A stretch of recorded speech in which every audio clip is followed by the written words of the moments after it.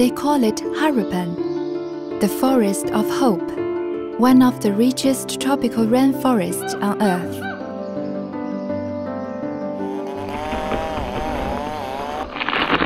A refuge within the most threatened forests of Asia.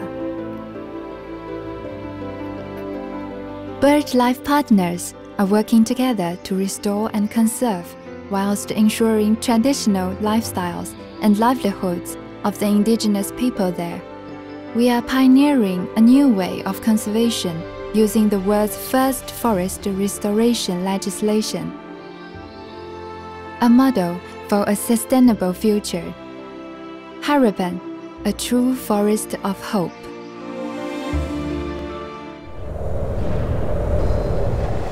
In the remote waters of the southern Atlantic Ocean, we are tackling one of nature's least known crises.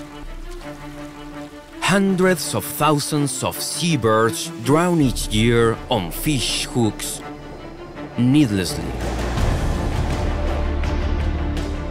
So we formed an albatross task force, spending months at sea working with local fishermen, testing and finding solutions that are good for birds and fishermen.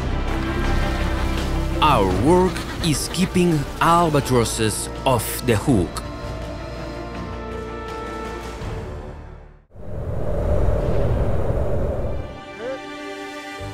The people and wildlife of the Sahel are living on the edge.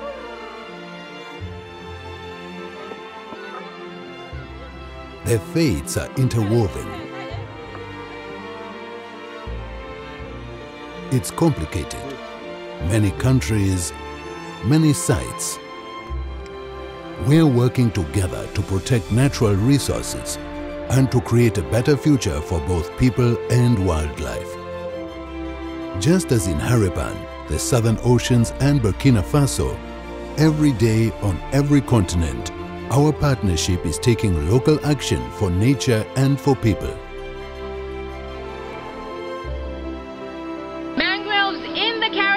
And the Atlantic forests of South America. The Central Asian steppe. And fighting illegal hunting in the Mediterranean. Supporting the growth of the largest civil society partnership for nature and people.